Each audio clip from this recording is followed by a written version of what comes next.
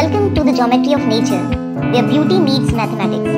In this video series, we'll take you on a journey into the mesmerizing world where mathematics and nature intertwine. Let's explore the hidden geometric wonders that surround us. Next, we dive into fractals, nature's infinite art.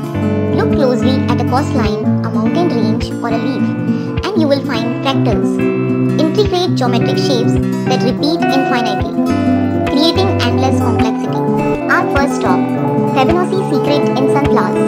Have you ever wondered why sunflowers have such perfect spirals? It's all thanks to the Fibonacci sequence, a mathematical marvel found throughout nature. Let's ride the waves in, waves in the dance of sine waves, the rhythmic waves of the ocean, or the gentle sway of a field of beat follow the mathematics of sine waves, creating serene beauty. Now, let's explore the perfect symmetry of snowflakes. Each snowflake is a masterpiece of symmetry.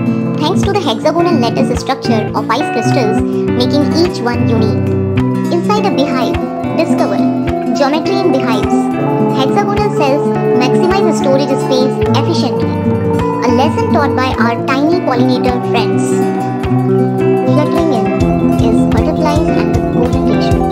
The wings of butterflies often exhibit the golden ratio, showcasing mathematics, elegance, and grace in nature.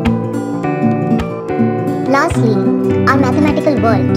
Next time you are in nature, pause to appreciate the mathematical symphony around you. Mathematics weaves a tapestry of wonder throughout our world.